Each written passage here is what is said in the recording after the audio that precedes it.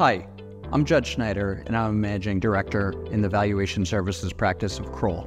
Within the organization, I wear a number of hats, including city leader here in Boston, industrial products industry leader, and tax valuation co leader. Outside of work, I spend my spare time with my beautiful wife.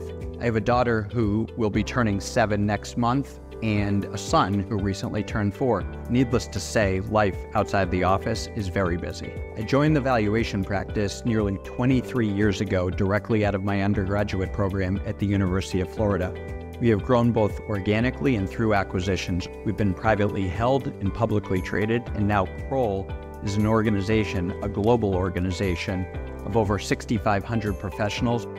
Our valuation business is involved in unique complex and challenging opportunities with our clients. We're regularly working with senior management teams on a number of high visibility issues that impact strategic decision making related to M&A, tax and financial reporting, internal reorganizations, and other matters. I work with large multinational organizations, including a number of Fortune 500 organizations, on legal entity valuations, IP, related valuations in connection with intercompany restructuring transactions. These large scale projects require interaction with folks from all across our client's organization. We pride ourselves on responsiveness, technical expertise, and well thought out analyses.